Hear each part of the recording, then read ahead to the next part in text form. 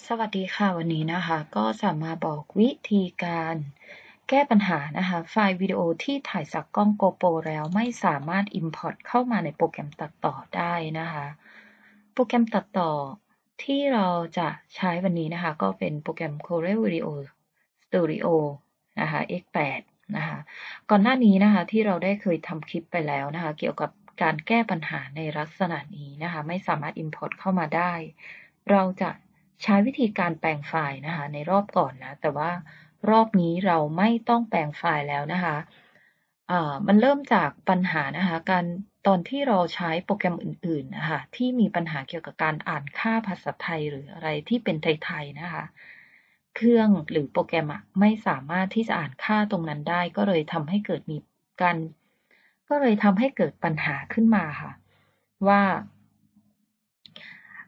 ตัวอักษรแยกบ้าง หรือว่าไม่อ่านไฟล์ภาษาไทยบ้างนะคะเราจะลองแอดไฟล์วิดีโอที่ถ่ายจากกล้อง GoPro นะคะ เข้ามาให้ดูนะก่อนหน้านี้นะคะ เราก็เคยใช้โปรแกรม Premiere Pro ไปแล้ว ทดลองลง Premiere Pro ก็ไม่สามารถ Import เข้ามาได้เหมือนเดิมนะคะ แต่อันนี้เราจะใช้โปรแกรมนี้นะคะ โปรแกรมเบาๆ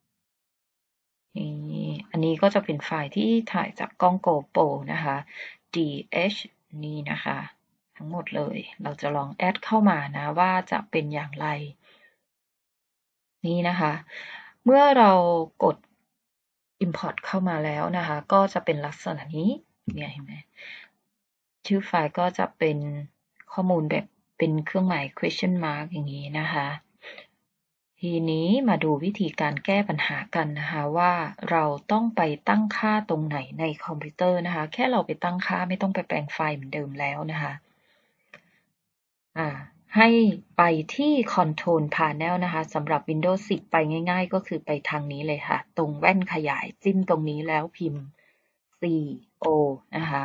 ก็จะเห็น Control Panel เด้งขึ้นมานะคะ จากนั้นเราก็จะมา ตรงที่หน้านี้นะคะบางเครื่องนะคะก็อาจจะเป็นในลักษณะหน้าตาแบบนี้เนาะทุกคนที่ใช้คอมพิวเตอร์ทุกคนรู้ดีนะคะใน Control Panel นะคะ เปลี่ยนมุมมองนะคะ View by จาก Category เป็น Lark Icon ค่ะ จากนั้นให้เราไปที่ l i g a n นะคะที่เป็นรูปโลกแล้วก็นาฬิกานะคะ l i g a n นะคะตรงนี้ตรงนี้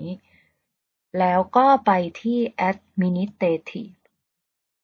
แล้วก็ไปที่ Chain system นะคะ location นะคะอ่าไม่ใช่ location นะ local อ่าตรงนี้นะคะจาก English United States นะคะให้เปลี่ยนเป็น Thailand พิมพ์กดที่คีย์บอร์ดนะคะ TS Thailand ก็จะเด้งขึ้นมานะคะ เราไม่ต้องไปเลื่อนหาทีละประเทศนะคะ เรียงตามตัวอักษรเราไม่ต้องไปเลื่อนนะคะ แค่เรากด TS ที่คีย์บอร์ด ก็ได้แล้ว จากนั้นกดโอเคค่ะ แล้วก็เด้งขึ้นมาว่าให้กด restart now นะคะ ถ้าเรากด restart เครื่องก็จะทำการ restart แล้วเปิดขึ้นมาใหม่นะคะ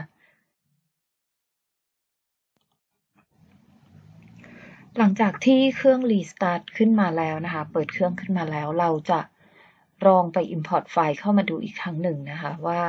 จะได้หรือไม่นะคะ เดี๋ยวรอสักครู่นะคะกำลังปลดโปรแกรมอยู่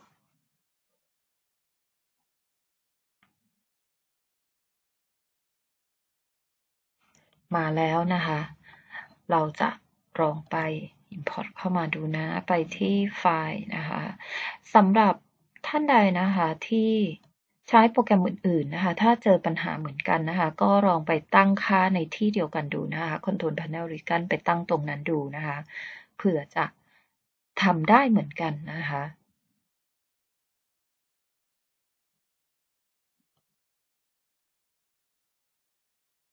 เดี๋ยวเราจะแอดไฟล์เข้ามาดูนะคะ Open นี้นะคะ เราสามารถ Import ไฟล์เข้ามาในโปรแกรมได้แล้วนะคะ แล้วเราก็สามารถทำการตัดต่อได้เลยค่ะ มีแค่นี้นะคะ วิธีการแก้ปัญหาง่ายนิดเดียวเลยนะคะ แค่เราไป แก้ปัญหานะคะ ตรง Control Panel นะคะ ก็ขอขอบคุณนะคะสำหรับท่านใดนะคะที่เข้ามาดูนะคะ ฝากกดไลค์ กดแชร์ กดติดตามด้วยนะคะ ขอบคุณมากค่ะ